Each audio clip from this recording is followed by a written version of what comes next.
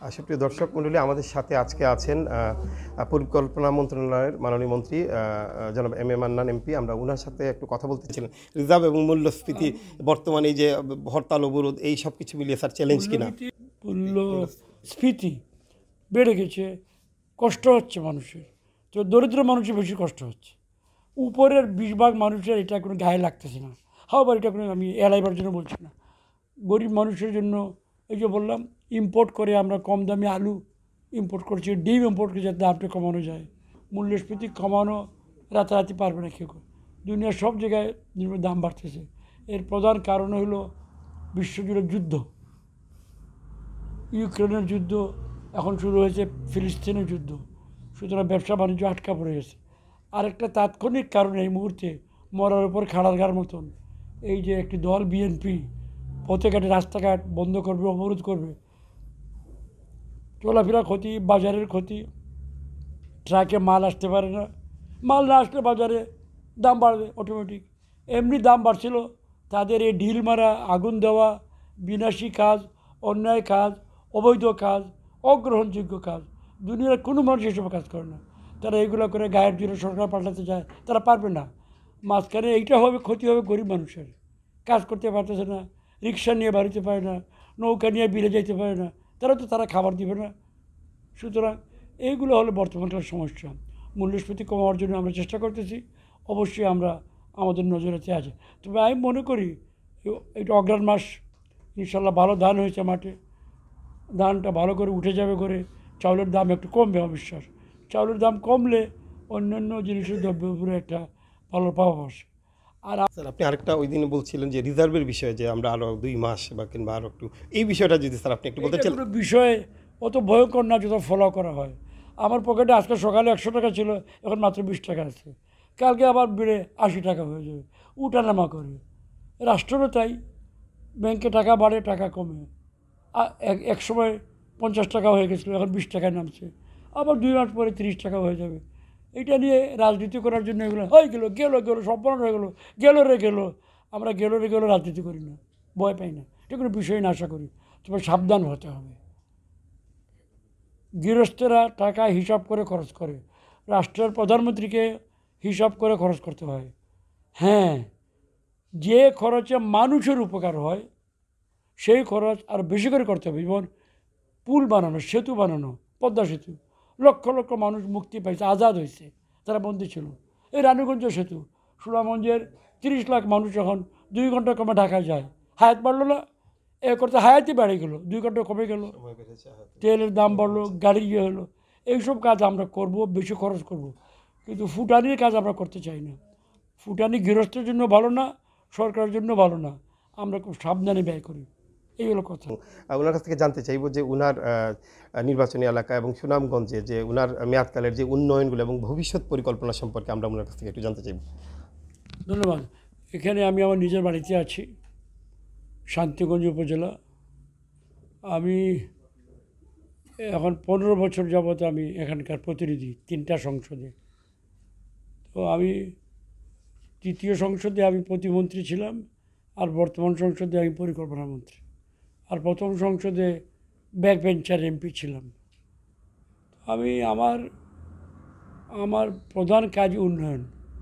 আমি উন্নয়ন কাজে বিশ্বাস করি, এটাই আমি বেশি জরুরি মনে করি।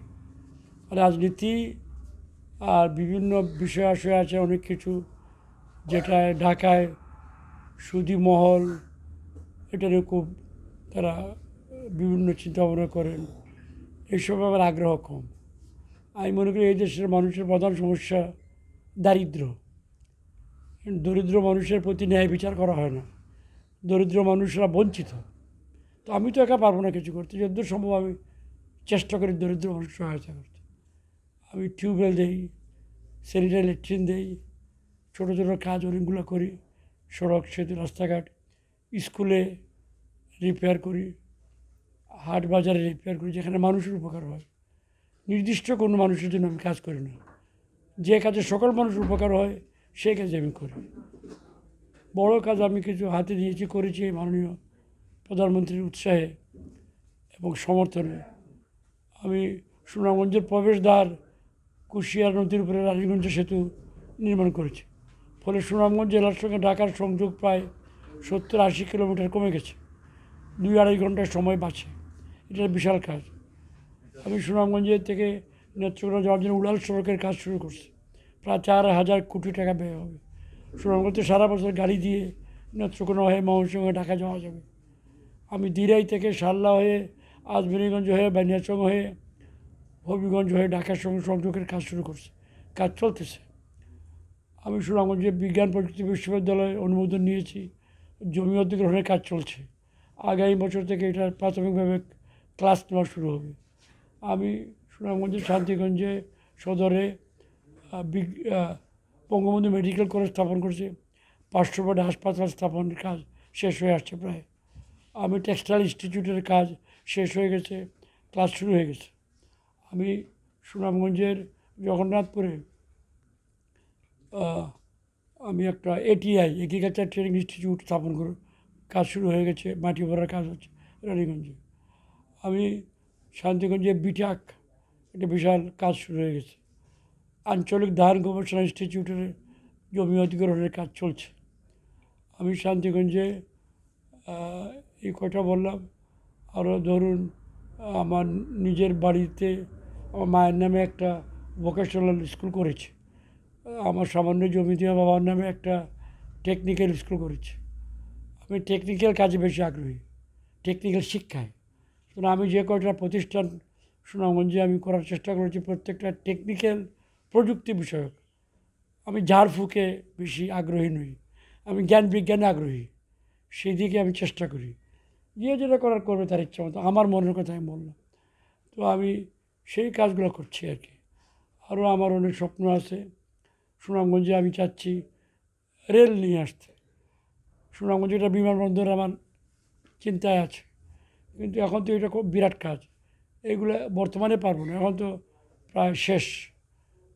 আগামী সপ্তাহে আমাদের শিডিউল ঘোষণা হয়ে যাবে। তখন তো কোনো কাজ করা যাবে না। সম্পূর্ণ বন্ধ হয়ে যাবে উন্নয়ন কাজ। সরকার হবে নতুন সরকার। যদি বাংলাদেশের মানুষ, বিশেষ করে গ্রামের মানুষ, তাদের স্বার্থ বুঝে, তাদের মঙ্গল তারা বুঝে, আমি মনে করি গ্রামের মানুষ হিসাবে, আমি গ্রামের সাধারণ পরিবারের মানুষ, অত্যন্ত অত্যন্ত সাধারণ ঘরের মানুষ আমি।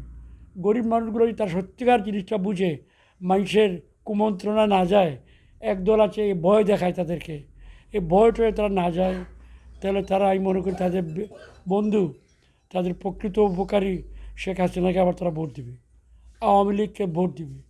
যদি দেয়, শেখ হাসিনা আবার সরকার গঠন করে তারা গত পনেরো বছরে দেশে যে বিশাল পরিবর্তন করছে গরিব মানুষের জন্য যে কাজটা করেছে শেখ হাসিনা, আরও কাজ করতে পারবে। অটোমেটিক বিকাশ করতে সেট করুন অটোপে বিকাশ থাকলে আর কি লাগে?